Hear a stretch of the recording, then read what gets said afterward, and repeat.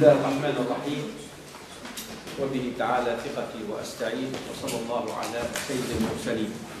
إذا ذكرنا بأن التكوين الإسلامي الذي يسود في عالمنا المعاصر وإن بني على مبدأ التعاون والتبرع فإنه يختلف عن التأمين التعاوني بنوعين من الناحيتين الإدارة والفنية من الناحية الإدارية والفنية. قلنا للتأمين الإسلامي صورتان. وذلك أن هيكلته الفنية والإدارية إما أن تقوم على أساس الوكالة دون أجر أو على أساس الوكالة بأجر. هذا ما أخذنا نعم. إذا الصورة الأولى ما هي الصورة الأولى؟ هي صورة الوكالة دون أجر. في البداية أريد أن أنبهكم على أن هذه الصورة نادرة جدا لا توجد إلا في قطر. أما غالبا ما يدير المساهمون أعمال التأمين بأجر. إذا الصورة الأولى أن يكون مجموعة المساهمين شركة مساهمة ترمي إلى القيام بالتأمين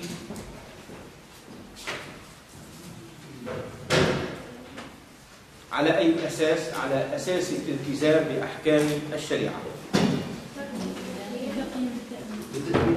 ترمي إلى القيام بالتأمين على أساس الالتزام بأحكام الشريعة.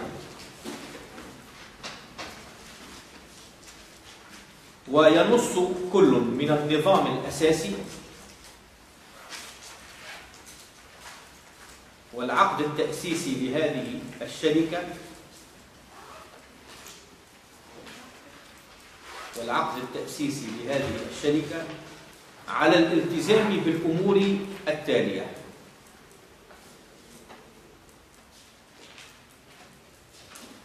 إذا عندما قامت هذه الشركة المساهمة التزمت بأن تكون أعمالها موافقة لقواعد الشريعة أحكاما ومقاصدا. لذلك يجب أن تبين ذلك بالتفصيل. كيف تكون تصرفاتها موافقة لقواعد الشريعة وأحكامها. إذا أولا مبدأ التبرع والتعاون.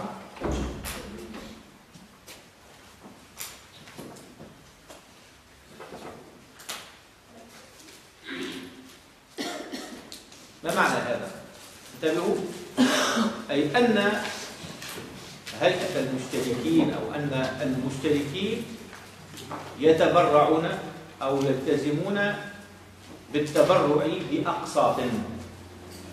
يتبرعون بهذه الأقساط وبعوائدها. أنا عندما أتبرع بشيء لا أنتظر عوضا عنه. هذا هو الأصل. ولذلك كثير من المعاصرين أثاروا مشكلة عود بعض الفائض إلى هيئة المشتركين. وسنرى ذلك. يعني بعض هذه المصارف يرجعون جزءا من الفائض إلى المشتركين وهذه فيها شبهة. ولذلك قال الكثير من الفقهاء المعاصرين من المحققين منهم هذه شبهة معاوضة تقرب هذا التأمين من التأمين التجاري. ولذلك قالوا التأمين الإسلامي الذي يخلو من هذه الشبهة شبهة المعاوضة أولى من التأمين الذي يشتمل على هذه الشبهة. فيكون أقرب لروح الشريعة ومقاصدها أيضا لأحكام التبرعات. إذا مبدأ التبرع والتعاون أي أن حملة الوثائق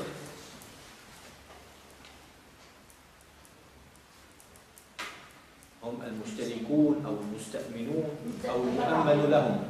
ذكرنا هذه الاصطلاحات أي أن حملة الوثائق يتبرعون بالأقساط المقدرة وعوائدها لصندوق التأمين التعاوني. إذا يتبرعون بالأقساط المقدرة وعوائدها لصندوق التأمين التعاوني أو لحسابه الخاص به.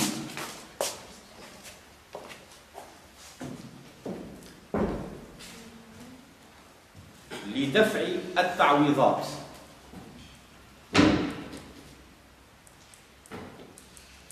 إذا من مكونات صندوق حملة الوثائق هذه الأقساط المدفوع المدفوعة من لدن المستأمنين أو المؤمن لهم والعوائد.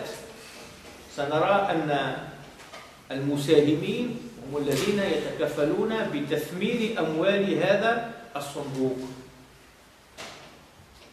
أي يتعاملون معها بوصفهم مضاربين يديرون رأس مال الصندوق.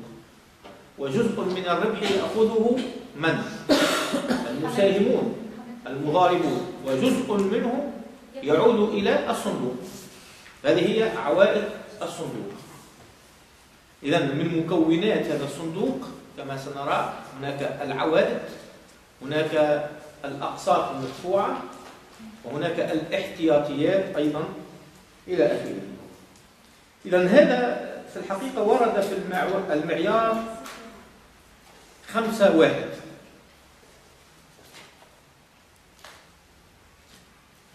المعيار خمسة واحد يقول الالتزام بالتبرع حيث ينص على أن المشترك يتبرع بالاشتراك وعوائده لحساب التأمين لدفع التعويضات وقد يلتزم بتحمل ما قد يقع من عجز حسب اللوائح المعتمدة. لكن من الصورة العملية إذا عجز الصندوق فإن المساهمين يقرضون الصندوق. واضح؟ بعد أن يقرضوا الصندوق ويثمروا هذه الأموال نعم آه، هنا وجب على الصندوق أن يرجع هذا القرض إلى المساهمين. وهذا سنأتي إليه هناك من أثار شبهة هذه المعاوضة في الصندوق. إذا ثانيا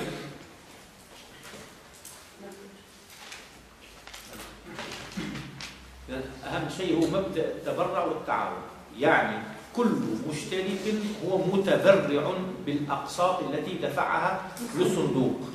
لا ينتظر عوضا عنها. ثانيا مراعاة أحكام الشريعة. لذلك تكون هيئة للفتوى والرقابة الشرعية. تكون هيئة للفتوى والرقابة الشرعية تكون فتاواها ملزمة للإدارة.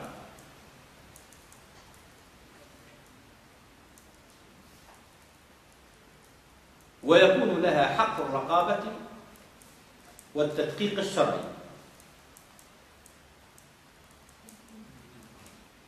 ويكون لها حق الرقابة والتدقيق الشرعي والاطلاع على جميع ما يحقق أهدافها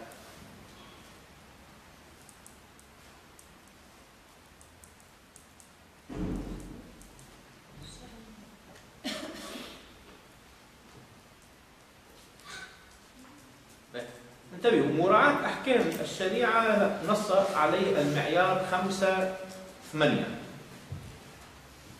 ورد فيه التزام الشريك بأحكام ومبادئ الشريعة الإسلامية. إذا التزام الشركة بأحكام ومبادئ الشريعة الإسلامية في كل أنشطتها واستثماراتها وبخاصة عدم التأمين على المحرمات أو على أغراض محرمة شرعا. هذا المعيار خمسة ثمانية أمامه من الرجوع إليه. أما تعيين الهيئة هيئة الفتوى والرقابة الشرعية فقد نص عليه المعيار خمسة تسعة.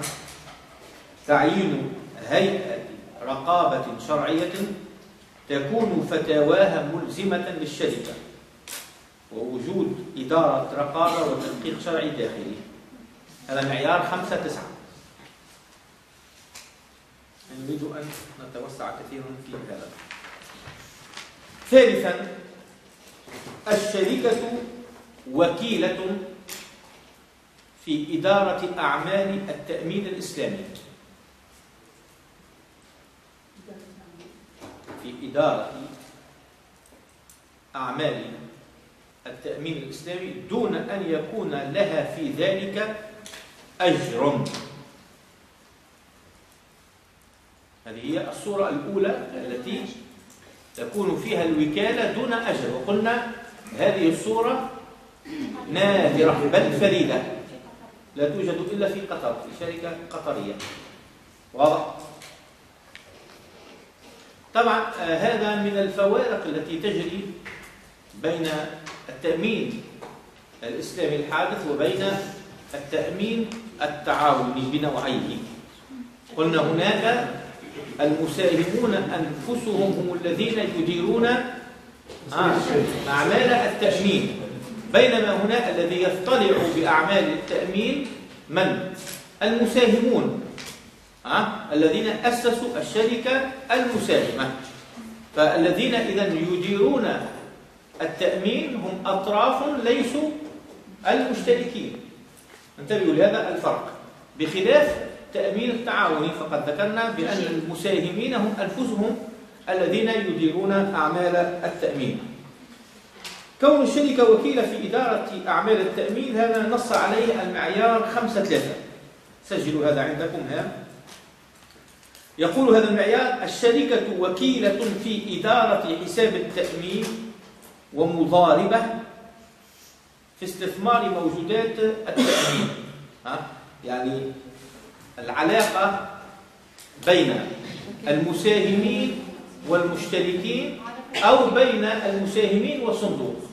العلاقة الجارية بين المساهمين والمشتركين هي علاقة وكالة. فالمشتركون أو هيئة المشتركين هم الذين وكلوا المساهمين بإدارة أعمال التأمين. أما علاقة المساهمين أو أعضاء الشركة المساهمة بالصندوق فهي علاقة استثمارية عن طريق المضاربة لأنهم هم الذين يتكفلون بتثمين أموال الصندوق ويكون لهم حصة من الربح في ذلك. إذا الشركة وكيلة في إدارة أعمال التأمين الإسلامي دون أن يكون لها في ذلك أجر. ما هي الأعمال؟ هناك إعداد وثائق التأمين. جمع الاشتراكات دفع التعويض عند الضرر إلى سطر. فالشركة تعد وثائق التأمين. تعد وثائق التأمين صياغة وطبعا ونشرا وتجمع الاشتراكات. مما من المشتركين من حملة الوثائق. وتدفع التعويض لصاحب الضرر. تدفعه من أين؟ من الصندوق. آه؟ لا من آه لا من صندوق المساهمين. وتدفع التعويض لصاحب الضرر المؤمن منه. دون أن يكون لها أجرة. وهذا هو محل الصورة الأولى. دون أن يكون لها أجرة. وهذا ما عليه الشركة الإسلامية القطرية للتأمين. وهذا ما عليه الشركة الإسلامية القطرية للتأمين. وهذا كما ذكرت لكم آنفا نادر. هذه ربما الصورة الوحيدة في العالم. وعليه فجميع المصاريف الإدارية. من أين تؤخذ؟ من الصندوق من أموال حملة الوثائق. وعليه فجميع المصاريف الإدارية تؤخذ من أموال حملة الوثائق. من أموال حملة الوثائق وأرباحها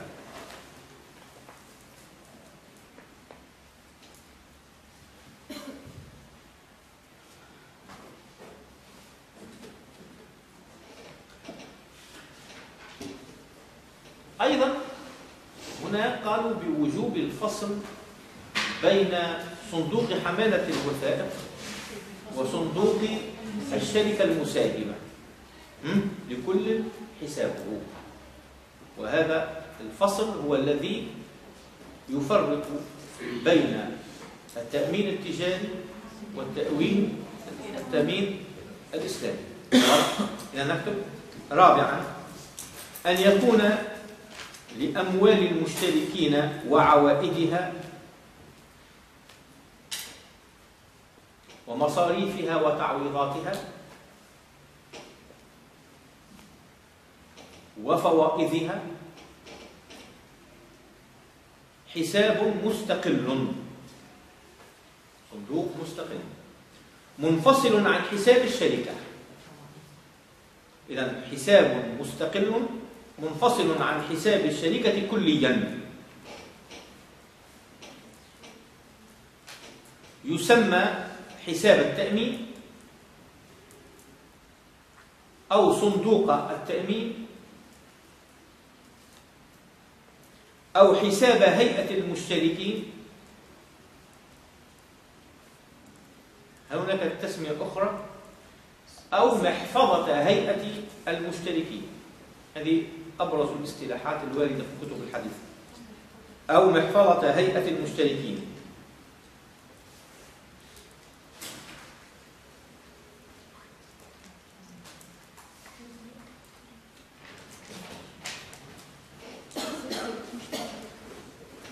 ورد في المعيار خمسة اثنين نستمع قيام الشركة المنظمة للتأمين بإنشاء حسابين منفصلين.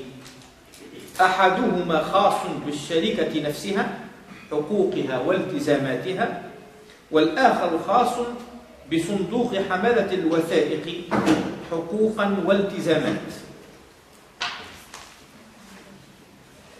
إلى سطر والمراد بالفائض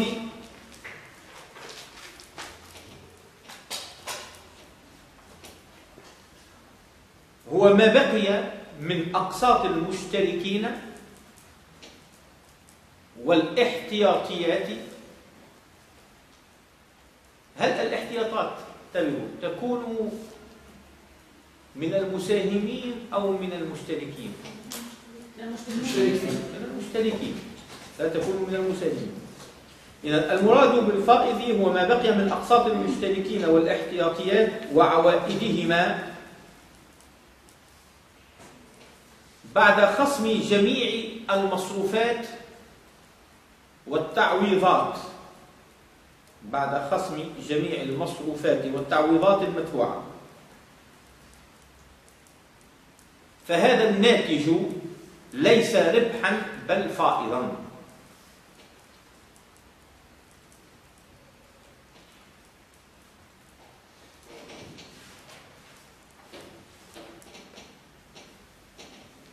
إلى سطر خامسا إن فوائد التأمين ملك لمن؟ لحساب التأمين.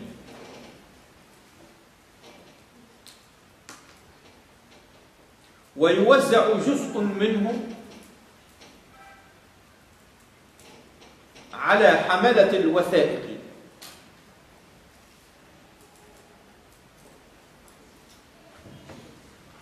بناء على لوائح تنظم ذلك.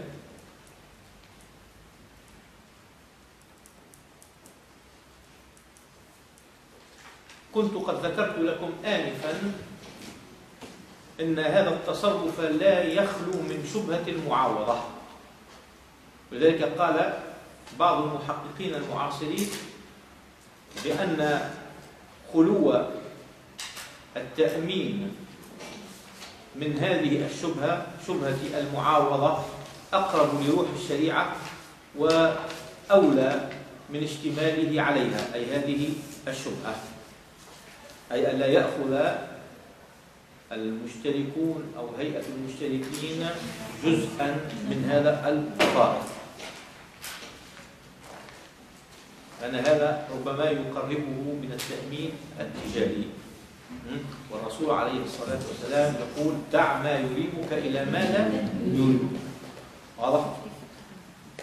قال إن الحلال بين وإن الحرام بين وبينهما أمور مشتبهات لا يعلمهن كثير من الناس. فمن اتقى الشبهات فقد استبرأ لدينه وعرضه ومن وقع في الشبهات وقع في الحرام كالراعي يرعى حول الحمى يوشك أن يرتع فيه. ألا وإن لكل ملك حمى ألا وإن حمى الله محارمه ولذلك الأولى أن ندع ما يريبنا إلى ما لا يريبنا. طبعا في المعيار خمسة خمسة نكتب هذا المعيار هنا في هذه المسألة. ورد في المعيار خمسة خمسة. يجوز أن تشتمل اللوائح المعتمدة. يجوز أن تشتمل اللوائح المعتمدة على التصرف في الفائض. بما فيه المصلحة. حسب اللوائح المعتمدة. مثل تكوين الاحتياطيات. مبالغ الاحتياطيات تكون من الفائض أو أو تخفيض الاشتراكات. يعني تخفيض أسهم المشتركين. أو التبرع به لجهات خيرية.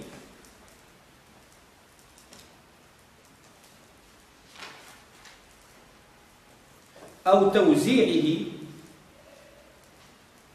أو جزء منه أو جزء منه على المشتركين. على أن لا تستحق الشركة المديرة وهي الشركة المساهمة هي التي تدير أعمال التأمين لذلك سميت الشركة المديرة. اسم فاعل من أدار يدير مديرة. إذا على أن لا تستحق الشركة المديرة شيئا من ذلك الفرض لماذا؟ لو قلنا بأن لهذه الشركة حقا في الفائض. إذا هذا يولي شبهة تأمين تجاري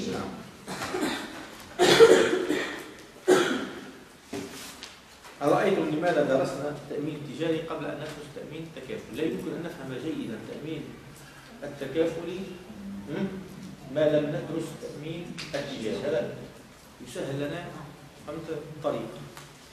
إذا آه، سادسا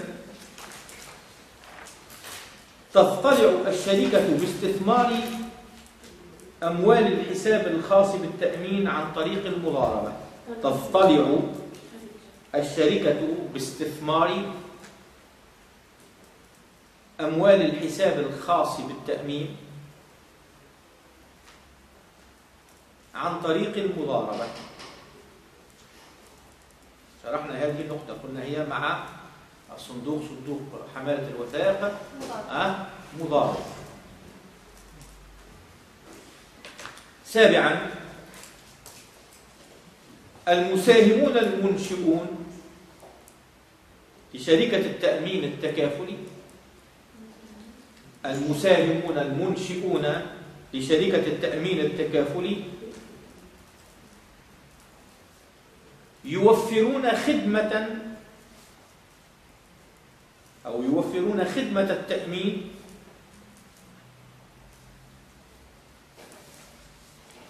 ويتيحون لغيرهم الاستفادة من هذه الخدمة. هم ما أنشأوا هذه الشركة إلا من أجل خدمة غيرهم. وهم هيئة المشتركين. ويتيحون خدمة أو لغيرهم الاستفادة من هذه الخدمة ليحصل النفع للجميع. في ظل مؤسسة اقتصادية إسلامية. في ظل مؤسسة اقتصادية إسلامية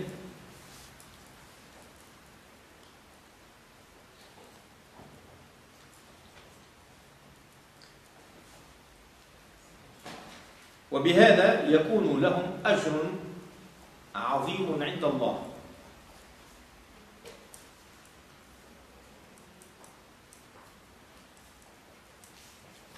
ويستفيدون أيضا مما يأتي.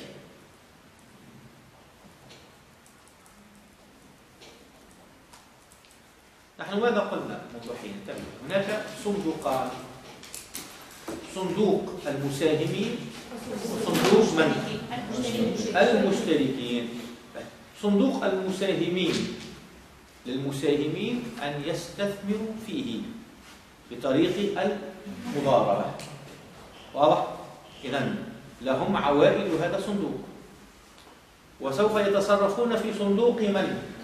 حملة الوثائق بوصف المظالمين ولهم عائد من ذلك في هذه السورة ليس لهم أجر عن إدارة الأعمال ولكن في سورة أخرى وهي الكثيرة يكون لهم أجر عن طريق الوكالة. أه؟ أي يكون لهذه الوكالة عوض. إذا نكتب. أ عوائد رأس مال الشركة. عوائد رأس مال الشركة المستثمر. استثمارا شرعيا.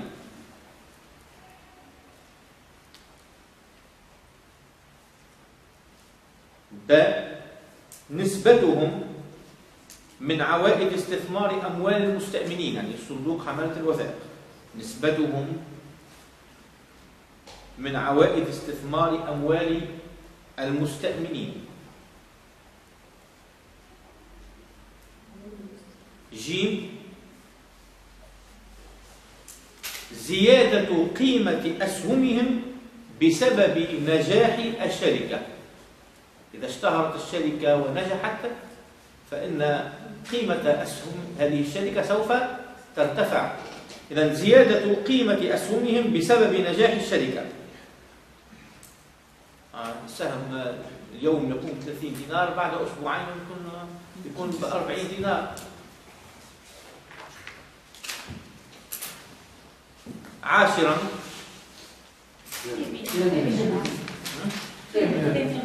ثامنا عفوا. رقم الصفحة. ثامنا إن ذمة الشركة من حيث هي إن ذمة الشركة من حيث هي ليست ملزمة بالتعويض أصالة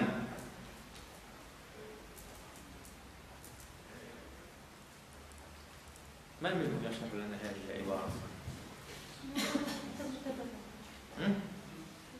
تأملوا جيدا قبل أن تجيبوا.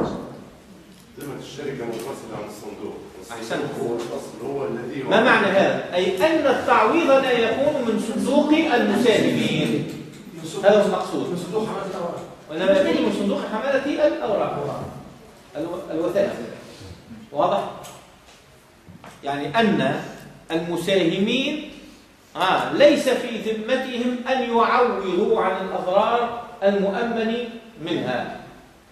إذا هذا حتى ولو في صورة عجز من؟ صندوق حملة الوثائق ولذلك هناك انفصال. إذا إن ذمة الشركة من حيث هي ليست ملزمة بالتعويض أصالة وأموالها ليست في مواجهة التزامات التأمين.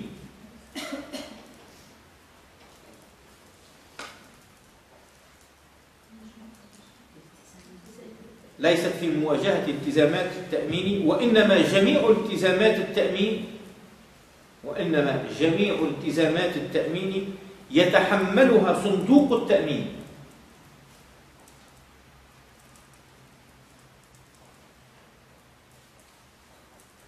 ولكن الشركة وكيلة بالاقتراض. بحيث إذا لم تكن أموال الصندوق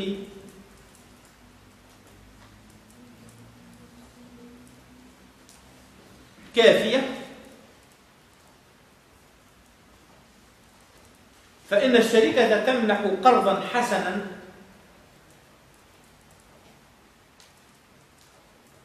مناسبا لحساب التأمين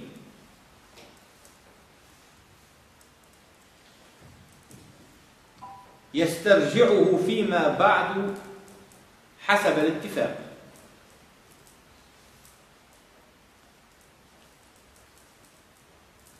إذا لو حصل عجز للصندوق أو لم يكن كافيا فللمساهمين أن يقرضوا هذا الصندوق.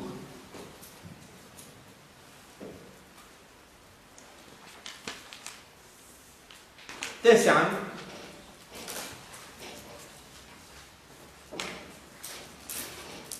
إن الشركة من خلال حسابها الخاص.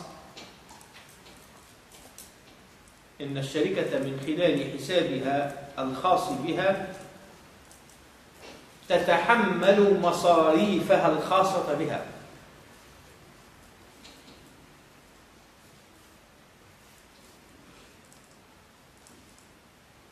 ويعود إليها ربح أموالها.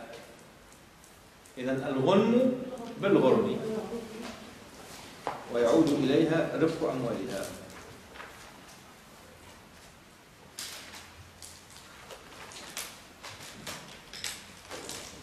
عاشرا.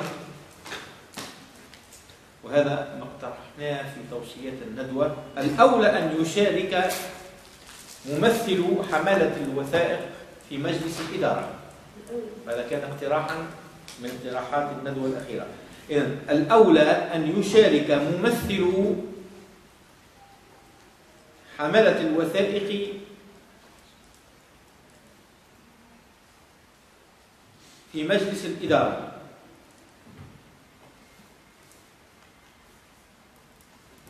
تابعوا ماذا قال المعيار خمسة سبعة.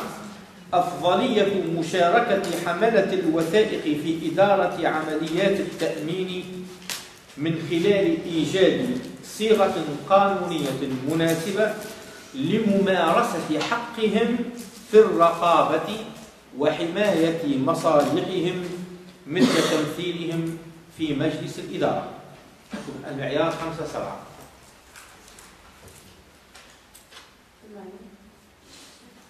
خمسة سبعة. خمسة خط مائل سبعة. نقطة صفر.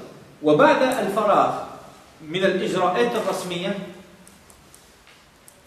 وبعد الفراغ من الإجراءات الرسمية حسب القوانين المنظمة للشركات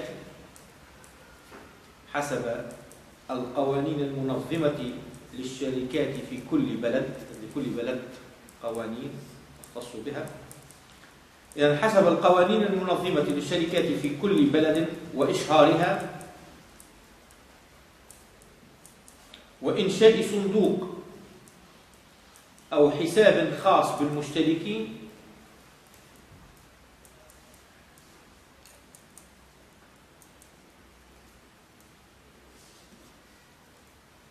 تنوب الشركة عن حملة الوثائق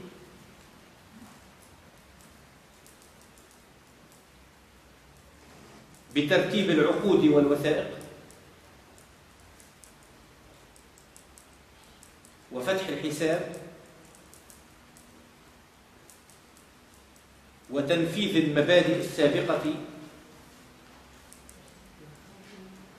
وفتح الحساب وتنفيذ المبادئ السابقة. لتبدأ إثر ذلك عمليات التأمين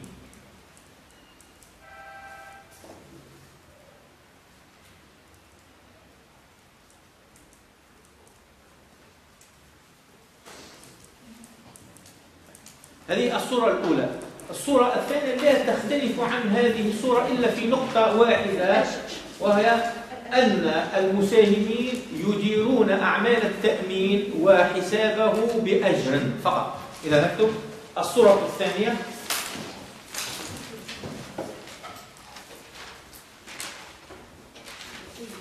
وهذه الصورة في الحقيقة هي الصورة الغالبة والمنتشرة في بلاد الخليج.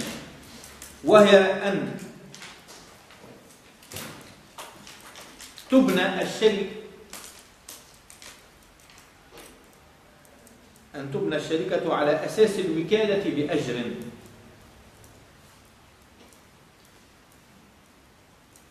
وهذه الصورة لا تختلف عن الأولى. وهذه الصورة لا تختلف عن الأولى إلا في نقطة واحدة. وهي أن تدير الشركة أعمال التأمين وحسابه بأجر. أعمال التأمين وحسابه بأجر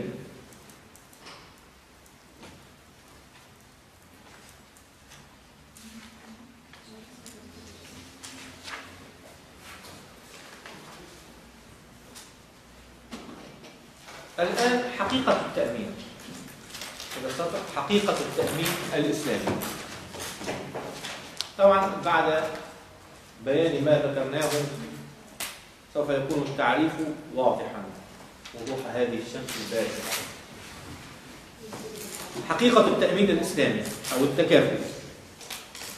عرفه المعيار رقم اثنين عرفه المعيار رقم اثنين بأنه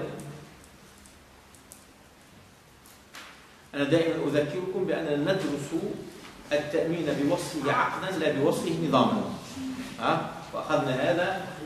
ها ذكرناكم بهذا منذ أخذنا تأمين الاتفاقي إذا عرفه المعيار رقم اثنين بأنه اتفاق أشخاص يتعرضون لأخطار معينة.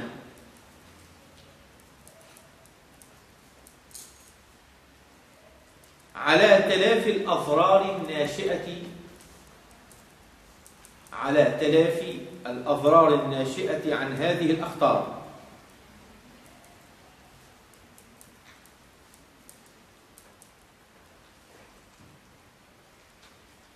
وذلك بدفع اشتراكات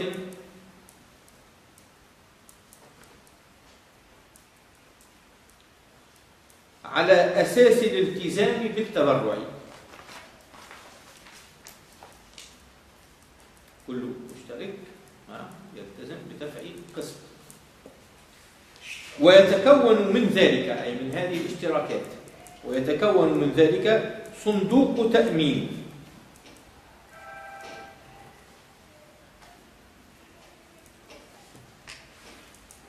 له حكم الشخصية الاعتبارية.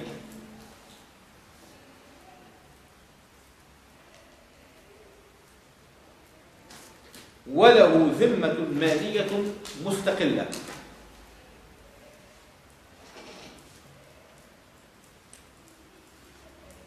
وقد أثار الباري مشعل في آخر اللقاء إشكالية حول هذه المسألة وكيف أن يكون لهذا الصندوق ذمة مالية مستقلة ونحن قد ذكرنا أن المؤمن هو المؤمن له في التأمين التكافلي الإسلامي. عندما نقول المؤمن هو المؤمن له يعني لا يمكن أن يكون لهذا الصندوق ذمة مالية مستقلة. واضح؟ هذه إشكالية من الإشكاليات ها؟ تبحث كما ذكرت. وهو حقيقة ملاحظة رشيقة. وله ذمة مالية مستقلة يتم منه التعويض. يقول له ذمة مالية مستقلة. أه؟ أيوه ما عادش يولي المؤمن هو المؤمن له واضح؟ يولي الصندوق هو المؤمن وهيئة المشتركين المؤمن لهم واضح؟ وذاك فصل وهذا مناف لمقتضيات التأمين التكافلي الإسلامي إذا يتم منه التعويض عن الأضرار التي تلحق أحد المشتركين؟ يتم منه التعويض عن الأضرار التي تلحق أحد المشتركين من جراء وقوع الأخطار المؤمن منها. من جراء وقوع الأخطار المؤمن منها. وذلك طبقا للوائح والوثائق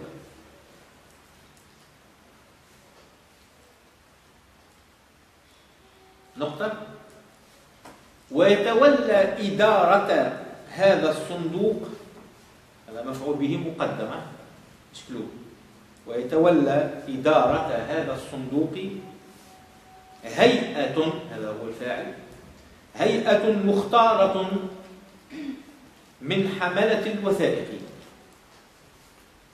ويتولى إدارة هذا الصندوق هيئة مختارة من حملة الوثائق أو تديره. طبعا هذه الصورة الصورة الأولى هذه. هي من التأمين التعاوني المعهود من قبل. هذا اليوم؟ لا لا التعاون الأول الإسلامي للذر الشقين واضح؟ قلنا أن يكون ماذا؟ الذين يديرون أعمال التأمين وحساب الصندوق هم المشتركون أنفسهم. وهذا تجاوز زمان في الحقيقة. فهمت لكن لماذا حسب رأيكم ورد هذا في التعريف؟ حتى يكون التعريف جامعا مانعا. أي حتى يكون جامعا لجميع الصور. ما كان منها أه وما حدث. أخيرا. واضح؟ من شروط التعريف أن يكون جامعا لأفراد المعرف به. ونحن ذكرنا بأن التأمين التعاوني بشقيه هو من جنس التأمين آه، الإسلامي إذا التزم الأحكام الشرعية. وذكرنا أن ذلك التأمين آه، قد ظهر بالبلاد الغربية. لكنه يختلف عن التأمين التعاوني في البلاد الإسلامية أنه لا يلتزم أحكام الشريعة. إذ أنه يستثمر أمواله في البنوك الربوية. واضح؟ لكنه شكل تقليدي. ولذلك حتى يشمل الصور أوردوا ذلك. إذا ويتولى إدارة هذا الصندوق هيئة مختارة من حماية الوثائق أو تديره شركة مساهمة. وهذا هو الذي عليه العمل اليوم. بأجر أيضا هو الغالب الصورة الغالبة. تقوم بإدارة أعمال التأمين واستثمار موجودات الصندوق. هنا كلمة موجودات كلمة عامة حتى تشمل الأقساط والعوائد والاحتياطات. واضح. والفائض طبعا هو في الحقيقة هذا مخل بشروط التعريف لأن الأصل في التعريف أن يكون موجدا طيب. نقطة إلى السطر. أكملنا تعريف التأمين الإسلامي حسب المعايير الشرعية. وعرف بأنه عقد يتبرع بموجبه أشخاص بمبلغ مالي على وجه التعاون قصد جبر الأضرار وتفتيت الأخطار. وتفتيت الأخطار التي تلحق بهم كلا أو بعضا. أي التي تلحق ببعض المشتركين أو بهم جميعا. والاشتراك في تعويض والاشتراك في تعويض من يصاب بضرر. والاشتراك في تعويض من يصاب بضرر فعلي. ناشئ عن حصول الخطر المؤمن منه.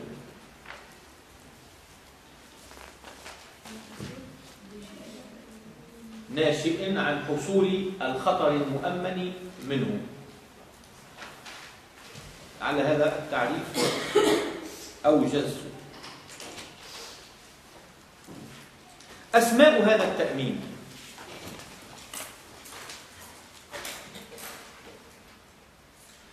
آه، طبعا هناك خلاف كبير. هناك من يسمي التأمين الإسلامي التأمين الإسلامي. هناك من قال لا هو تأمين تعاوني هناك من قال هو التأمين التبادلي. هناك من قال التأمين التكافلي. سنبين هذه الأسماء ووجوه التسمية فيها إذا أسماء هذا التأمين. للتأمين الجاري على وفق أحكام الشريعة للتأمين الجاري على وفق أحكام الشريعة أسماء كثيرة. وهي التعاون والتبادل والتكافل والإسلامي. ما هو الاسم الذي اختير في الندوة الأخيرة؟ التكافل. إلى سطر ووجه تسمية الأول.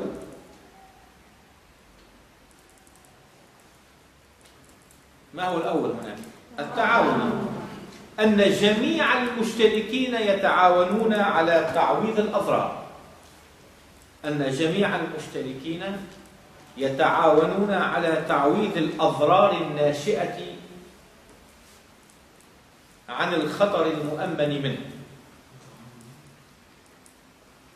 على تعويض الأضرار الناشئة عن الخطر المؤمن منه اللاحق ببعضهم.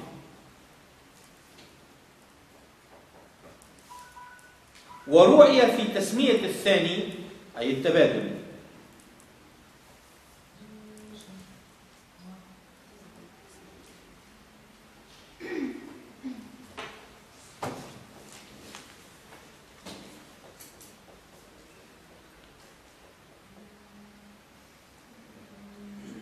أن كل واحد من هيئة المشتركين يجمع بين صفتي المؤمن والمؤمن له. أن كل واحد من هيئة المشتركين يجمع بين صفتي المؤمن والمؤمن له.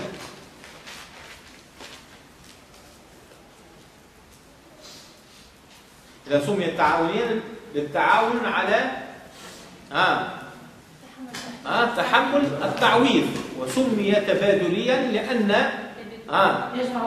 كلا من المشتركين هو في الحقيقة آه. هناك اتحاد الجهات مؤمن ومؤمن له.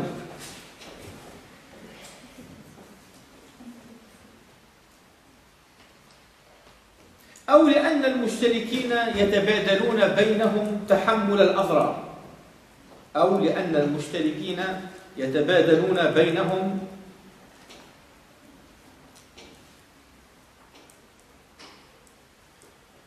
تحمل الأضرار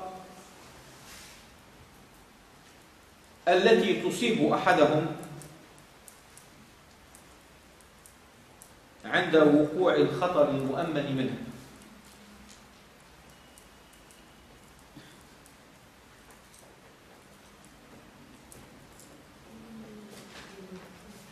نقطة يسطر ويسمى تكافليا لكونه مبنيا على التآزر والمواساة.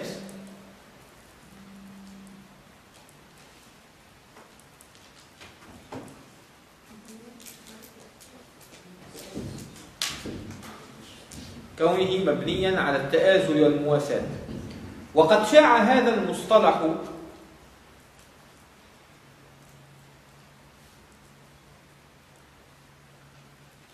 بعد الندوة بعد الندوة الموسومة